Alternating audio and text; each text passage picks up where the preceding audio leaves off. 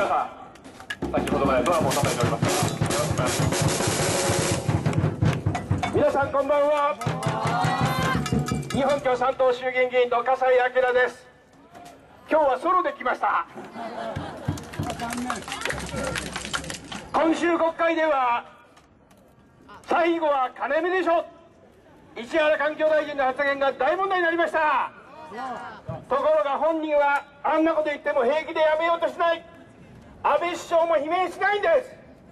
安倍さんだって結局同じ考え持ってるからやめさせられないんじゃないでしょうか。だから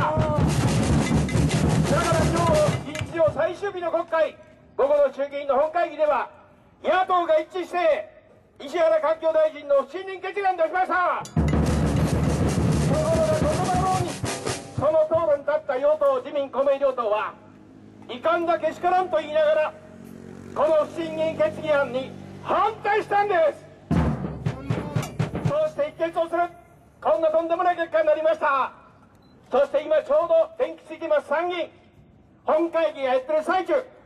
議院委員委員長の解任決議についておそらく間もなく石原環境大臣の問責決議。この審議に入るところになります。平吉議員も今そんなに入って頑張っております。皆さん大体最後は金目。だから福島事故の収束もできないんじゃないでしょうか。今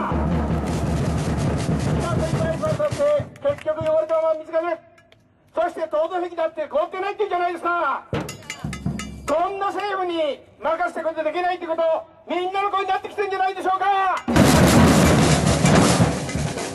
今これに対して本当にみんなで声を上げて国が責任持って収束しろ。